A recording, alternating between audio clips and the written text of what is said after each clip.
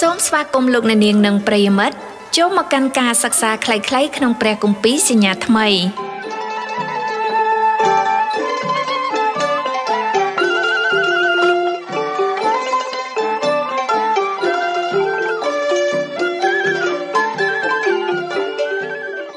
ឥឡូវនេះការសិក្សាខ្លីៗ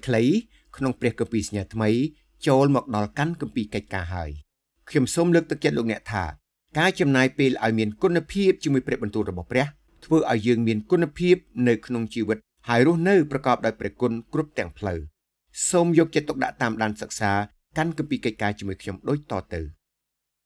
មេរៀនទី1សេចក្តីផ្ដើមនៃកាន់គម្ពីរកិច្ចការជំពូក1ពីខ16ដល់ខ26កាន់គម្ពីរដំណឹងល្អទី5កាន់គម្ពីរកិច្ចការ ដែលពេលខ្លះត្រូវបានគេហៅថាកាន់គម្ពីរដំណឹងល្អទី5គឺជាការបន្តនៃគម្ពីរដំណឹងល្អទាំង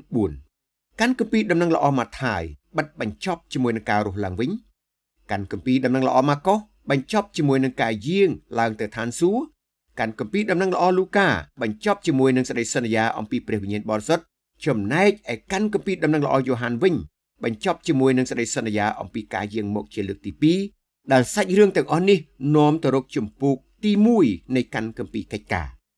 ហើយក៏ដូចជាកាន់គម្ពីរដំណឹងល្អទាំង4ដែរកាន់គម្ពីរកិច្ចការបញ្ជាក់អំពីការត្រាស់ហៅបេសកជនដ៏អស្ចារ្យឲ្យនាំដំណឹងល្អនេះទៅប្រាប់ពិភពលោកកាន់គម្ពីរកិច្ចការសង់ស្ពានមួយនៅចន្លោះកាន់គម្ពីរដំណឹងល្អនិងកាន់គម្ពីរសម្បត្តិបើមើលទៅវិជ្ជបណ្ឌិតលូកាដែលជាអ្នកនិពន្ធកាន់គម្ពីរកិច្ចការ ទំនងជាបានជួបជាមួយលោកពេត្រុសនិងលោកប៉ូលជាច្រើនដង ហើយពួកលោកចែករំលែកគំនិតដ៏អស្ចារ្យអំពីរបៀបដែលព្រះកំពុងតែធ្វើការនៅក្នុងដំណើរបេសកកម្មដាច់ដាច់ពីគ្នារបស់ពួកលោកសូមអានកាន់គម្ពីរកិច្ចការនិងកាន់គម្ពីរសបុតរបស់ពលលោកជាមួយគ្នា នោះលោកអ្នកនឹងមើលឃើញរូបភាពតកតងនឹងប្រវត្តិសាស្ត្រក្រុមជំនុំដំបូងរួមជាមួយទំនាក់ទំនងនិងបញ្ហាផ្ទាល់ខ្លួនដែលសម្បត្តិនីមួយៗបានលើកឡើង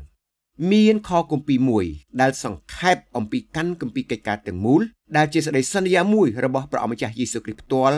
នៅពេលដែលទ្រង់យាងត្រឡប់ទៅឋានសួគ៌បទគម្ពីរនោះគឺ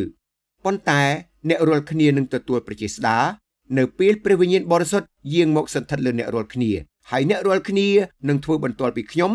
នៅក្រុងយេរូសាឡឹមនៅស្រុកយូដាទាំងមូលនិងស្រុកសាមារីហើយរហូតដល់ចុងបំផុតនៃផែនដី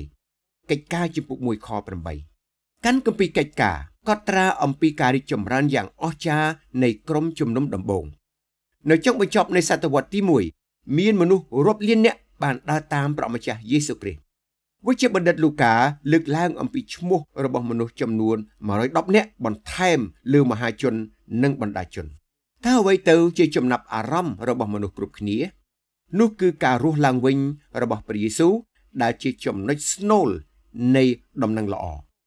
នៅក្នុងក្រុមជំនុំដំបូងការរស់ឡើងវិញរបស់ព្រះយេស៊ូវគ្រីស្ទគឺជាបេះដូងនៃរាជសារហើយគ្មានសេចក្តីអធិប្បាយណាដែលប្រកាសទៅដោយគ្មានរាជសារមួយនេះបានឡើយនៅក្នុងក្រុមជំនុំដំបូងឃ្លាថាទ្រង់មានប្រជញ្ញរស់ឡើងវិញត្រូវបានប្រកាសនៅគ្រប់ទីកន្លែងហើយជារៀងរាល់ថ្ងៃមនុស្សប្រកាសអំពីការរស់ឡើងវិញពោលគឺមិនមែនគ្រាន់តែនៅក្នុងថ្ងៃបុណ្យ Easter ឬថ្ងៃបុណ្យព្រះយេស៊ូវមានប្រជញ្ញរស់ឡើងវិញតែប៉ុណ្ណោះនោះទេប៉ុន្តែកាន់គម្ពីរនេះមិនទាន់បញ្ចប់នៅឡើយសាច់រឿងអំពីក្រុមជំនុំគឺជាសាច់រឿងមួយដែលកំពុងតែបន្តឥឡូវនេះវិជ្ជបណ្ឌិតលូកាប្រហែលជាកំពុងនិពន្ធជំពូកបន្ទាប់បន្ទាប់ប្រកបដោយសេរីល្អហើយមួយទៅប្រហែលជាលោកកំពុងតែកត់ត្រាអំពីអ្វីដែលយើងធ្វើសម្រាប់ព្រះគ្រីស្ទនៅក្នុងព្រះចេស្តានៃព្រះវិញ្ញាណបរិសុទ្ធ ទោះបីជាព្រះម្ចាស់បានយាងចេញពីផែនដីហើយក៏ដោយក៏ព្រះអង្គគ្រាន់តែរើទៅកាន់ទីស្នាក់ការកណ្ដាលរបស់ព្រះអង្គដែលគង់នៅខាងស្ដាំព្រះហស្ថនៃព្រះបិតាទ្រង់តែប៉ុណ្ណោះព្រះយេស៊ូវបានសន្យាចាត់ព្រះវិញ្ញាណបរិសុទ្ធឲ្យមកយ៉ូហានជំពូក1ខ33ជំពូក7ខ37ដល់ខ39ជំពូក14ខ16ដល់ខ17ជំពូក20ខ22កិច្ចការជំពូក1ខ8 ដើម្បីคล้ายជាប្រជាស្ដារដ៏អស្ចារ្យបំផុតនៅសម័យកាលនេះហើយទ្រង់បានធ្វើរួចហើយឥឡូវនេះព្រះវិញ្ញាណរបស់ព្រះអង្គគង់នៅខាងក្នុងយើងដែលជាអ្នកជឿរបស់ព្រះអង្គបេសកកម្មរបស់យើងឥឡូវនេះគឺធ្វើជាស្មោះបន្ទាល់របស់ព្រះអង្គ យើងគួរតែធ្វើឲ្យត្រង់คล้ายជាទីចំណាប់អារម្មណ៍របស់មនុស្សគ្រប់គ្នាព្រះរាជបញ្ជានេះមិនត្រឹមតែសម្រាប់ក្រុមជំនុំប៉ុណ្ណោះទេប៉ុន្តែក៏ជារាជបញ្ជាមួយ សម្រាប់អ្នកជឿម្នាក់ម្នាក់ផ្ទាល់ខ្លួន ដាច់ដោយឡែក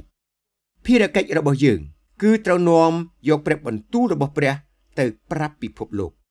ព្រះម្ចាស់ចង់ឲ្យមនុស្សលោកទទួលបានសេចក្តីសង្គ្រោះ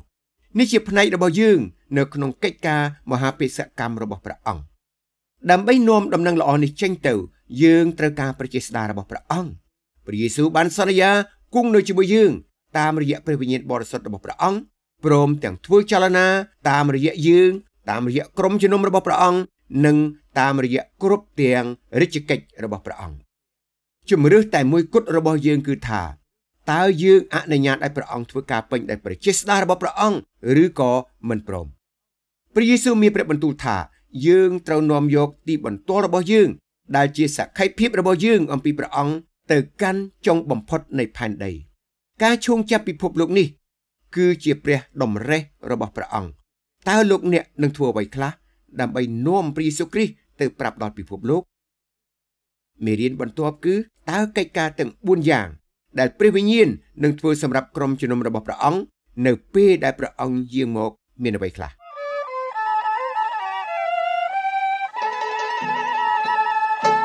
សូមអរគុណលោកអ្នកនាងនិងប្រិមិត្តដែលបានតាមដានស្ដាប់នាទីសិក្សាខ្លីៗក្នុងព្រះគម្ពីរសញ្ញាថ្មីនៅថ្ងៃនេះ លោកអ្នកក៏អាចបន្តតាមដានស្ដាប់និងសិក្សាលំអិតស៊ីជម្រៅថែមទៀតបាន ក្នុងកម្មវិធីសិក្សាតាមប្រព័ន្ធព្រះគម្ពីរពីថ្ងៃច័ន្ទដល់ថ្ងៃសុក្រវេលាម៉ោង8យប់តាមវិទ្យុគ្រួសារ FM 99.5និងវិទ្យុគ្រួសារ FM 99.8ក៏ដូចជាតាមបណ្ដាញសង្គម Facebook YouTube និងទាញយកសម្លេងនិងមេរៀនពីគេហទំព័រឬ Mobile App របស់វិទ្យុគ្រួសារបានផងដែរ ដែលលោកអ្នកគ្រាន់តែវាយជាអក្សរ www.familyfm.org សូមអរគុណសូមព្រះប្រទានពរ